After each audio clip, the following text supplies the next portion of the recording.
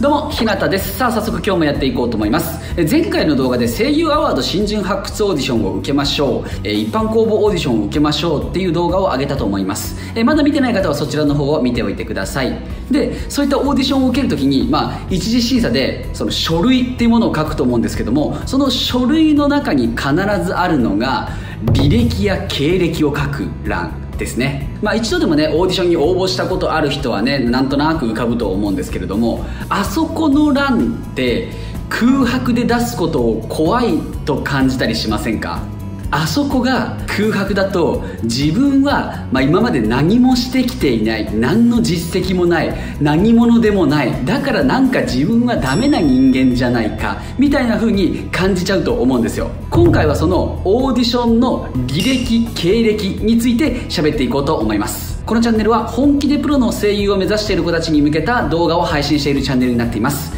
本気の人はぜひ最後まで見ていってください。そしてこの動画を見てよかったなためになったなって思った方はグッドボタンやコメントいただけたら動画作りの励みになります。さあ本題に入っていきましょう。えオーディション用紙の履歴や経歴の欄に関してなんですけども、まあ、結論言っちゃいます。あそこは空白のままで全然大丈夫です。え本当？って思うかもしれないんですけれどもこれは本当です。あそこが埋まっていないとなんか無理に履歴や経歴をつけるためになんか舞台に出演しなきゃと焦る気持ちはわかるんですけれども声優事務所に所属する前に無理をして経歴や実績を積む必要はありません。経歴は声優事務所に所属してからで全然大丈夫です。意外に思われるかもしれないんですけれども履歴や経歴が真っ白な方が実は審査員の評価は上がりやすいんです。それはなぜかというとオーディションの時審査員側はあなたを素材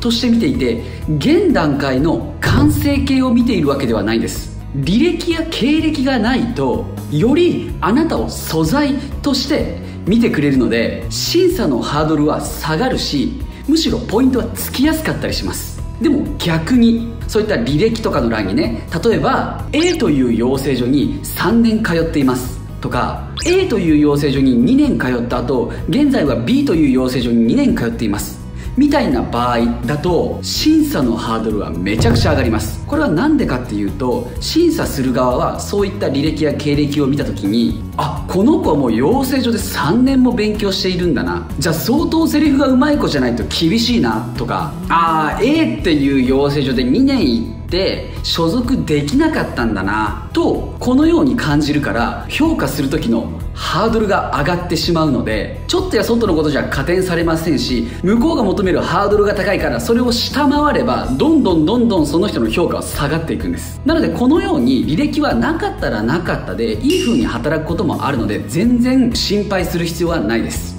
ちなみに言うと履歴や経歴に書くとしたら次の3つはプラスに働く可能性があるかなと思います。まず1つ目子役として活動していた。2つプロが出演する舞台に出演していたことがある。3つ目プロとして歌やダンスの仕事をしていた。こういったプロと共演した経験やダンスや歌などの特技をアピールできるような経歴であればメリットがありますがそうでない場合は逆に審査のハードルは上がっちゃいます。なので無理に何か経歴を書かなきゃ埋めなきゃっていう風になる必要は全然ないです。ありのままのあなたで勝負していきましょう。頑張って。はい最後に告知があります。僕平田翔吾の LINE 公式アカウントというのがありますそこではですね2週間に1回各週月曜日無料のトレーニング動画を配信していますあとですね YouTube でやってる月1生配信ってあるじゃないですか LINE に登録してくれてる人限定でアーカイブとしてあの動画を見ることができます